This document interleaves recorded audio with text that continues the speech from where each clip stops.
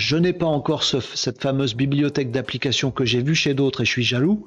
Par contre, eux me jalousent pour autre chose parce que deuxième fonctionnalité qui est en cours de déploiement en ce moment chez ChatGPT, qui se trouve au même endroit, vous allez sur votre compte ici, vous allez dans Settings, dans les Beta Features, et comme vous le voyez ici chez moi, vous avez le Web Browsing, la navigation web.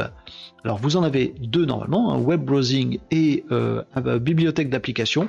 Moi, j'ai pas la chance encore, je surveille toutes les heures, tellement je suis un psychopathe de ça. Je surveille toutes les heures pour voir si cette bibliothèque d'applications dont je viens de vous parler, elle va sortir. Dès qu'elle sort, bien sûr, on teste ensemble différentes applications pour regarder tout ça hein, dans un prochain Casa Live.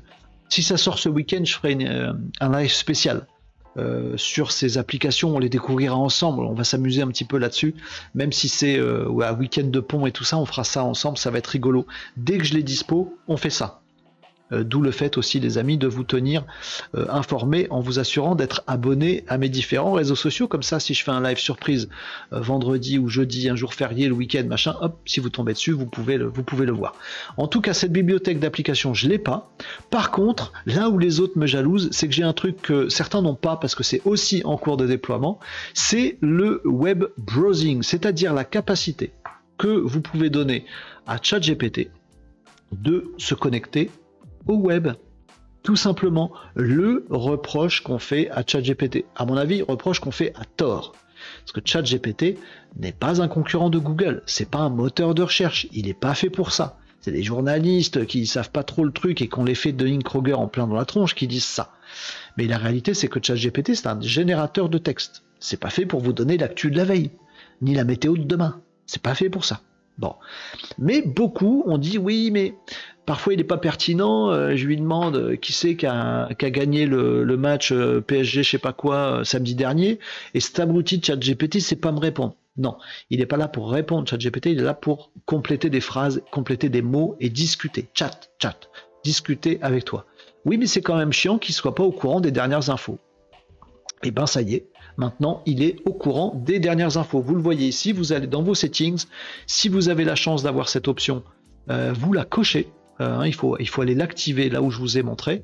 Et ensuite, quand vous allez aller dans ChatGPT, euh, ici ça marche avec ChatGPT 4, si vous passez la souris là-dessus, il va vous dire effectivement que vous pouvez activer ou non le browsing. Voilà, alors pour l'instant c'est en version euh, bêta, donc vous pouvez aller cocher la petite case ou décocher la petite case ici.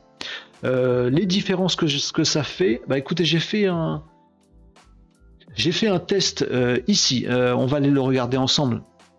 Comme ça, ce sera beaucoup plus parlant euh, pour vous, les amis. Hier, j'ai fait un test. Alors, pour ceux qui ne savent pas encore bien chatter, euh, bien utiliser, prompter ChatGPT, euh, voilà un prompt qui est plutôt pas mal. Bien sûr, c'est perfectible, mais on n'oublie pas dans un prompt, dans une demande à ChatGPT, de lui dire comment il doit se comporter, quelle action, quelle action claire il doit faire, sous quel format sortir son euh, résultat et lui donner du contexte. Moi, j'avais pas de contexte à donner, je lui ai dit comporte-toi comme un spécialiste du web marketing et de la web communication qui accompagne depuis 20 ans les entrepreneurs dans la gestion de leur entreprise. En gros, essaye de faire comme moi, euh, mon pote. Établis une liste, donc je voulais une liste, de 10 sujets récents de l'actualité du web pour nourrir une veille à partager avec des entrepreneurs. Préparer live, c'est plutôt pas mal comme aide de ChatGPT. Je lui ai demandé ça en lui précisant bien des sujets récents de l'actualité pour nourrir une veille. Donc en gros, je veux des trucs de maintenant. Et ce test-là, je l'ai fait sans activer le petit module web. Et eh bien, il me sort des trucs, certes pertinents, mais il me sort des sujets qui sont un peu globaux. Hein, qui nous dit bah il y a le marketing d'influence, oui, enfin les influenceurs, ça fait 15 ans qu'ils nous pètent les noisettes. Le marketing de contenu, oui, enfin depuis que le web marketing et web marketing on parle de contenu, donc c'est pertinent, c'est tout à fait juste, c'est tout à fait pertinent, mais c'est pas tout à fait actualisé. Alors qu'est-ce que j'ai fait après? J'ai essayé de le challenger, où j'ai arrêté. Euh, je lui ai dit va, pas jusqu'à 10, va laisse tomber. Euh, je lui ai dit non, mais je veux vraiment des trucs de l'actualité web qui soient sortis, euh, des nouveautés de ces deux dernières semaines. Et lui il a dit bah je suis désolé mon pote, Mais voilà, euh, mon apprentissage a été arrêté en septembre 2021, donc je ne suis pas capable de te donner des trucs plus récents. Je, suis, euh, suis désolé. Donc j'ai encore tenté des trucs euh, et il m'a dit bah non, je ne peux pas, je suis désolé. La solution, c'était d'avoir exactement le même prompt, mais cette fois-ci en allant cocher la petite case que je vous ai montré tout à l'heure. Et là, les amis, ça change tout. J'ai refait, alors je crois que j'ai fait le même prompt. Oui, voilà, j'ai copié-collé le même prompt pour pas que ce soit dérangeant. Euh, je lui ai demandé exactement la même chose, mais cette fois-ci, je lui ai demandé d'utiliser la petite option euh, browsing. Et là, euh, alors c'était un peu plus long à générer. je l'ai vu faire des trucs en live, c'est-à-dire qu'il vous fait, bah, j'ai cherché tel truc sur Google, j'ai essayé, j'ai essayé de cliquer, ça n'a pas marché. Après j'ai cherché autre chose, j'ai trouvé du contenu, je l'ai lu. Hein. il vous dit ce qu'il fait. Alors c'est un peu plus long parce que entre guillemets, vous le voyez faire. Il dit bah, je cherchais le truc, je prends des infos là-dessus. Avant de vous répondre, je prends des infos ici ou là. Et là, pour le coup, il me dit voici une liste de 10 sujets. Ils sont beaucoup plus euh, précis, euh, d'actualité, euh, que ceux de tout à l'heure. Là, par exemple, il me parle de ChatGPT 4 qui est sorti et tout ça, machin. En septembre 2021, il n'y avait pas. Donc dans l'autre prompt, il me parlait même pas d'intelligence artificielle. Là, il m'en parle. Là, il me parle du passage de la télévision traditionnelle aux médias numériques. ce qui est marrant, parce qu'on a fait un article de veille hier sur YouTube euh, qui passe à la télé. Euh, voilà. Donc, il me donne vraiment des choses qui sont euh, des choses d'actualité. Pour le coup, vous voyez, en 2023, une tendance populaire en 2023, des trucs qui sont vraiment d'actualité. Toujours aussi pertinentes, mais d'actualité. Parce qu'il est allé, avant de me répondre, se nourrir de choses qui sont sur le web. ChatGPT prend une toute autre dimension par rapport à ça. Petite euh, cerise euh, sur le gâteau, euh, vous voyez apparaître, j'espère que vous le voyez sur mon écran, des, petites lettres, des petites références qu'il nous donne dans ses réponses. Parce que effectivement, quand il nous parle ici de ChatGPT 4, il nous dit bah, en fait, je suis allé choper l'information sur ce site-là.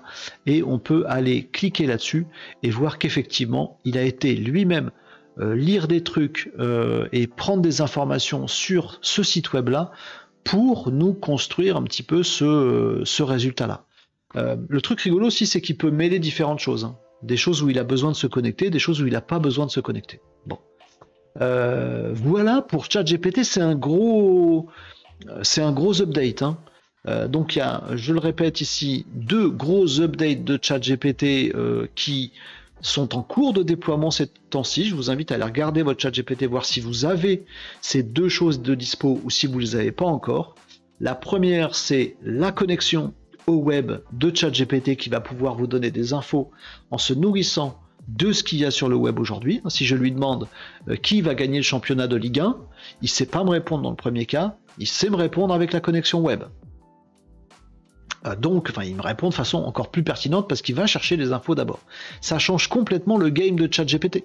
Ça change complètement le game de ChatGPT. Cette option, j'ai la chance de l'avoir. Peut-être vous l'avez pas encore. Peut-être vous l'avez. En tout cas, testez-la dès dès qu'elle est disponible dans vos settings de ChatGPT.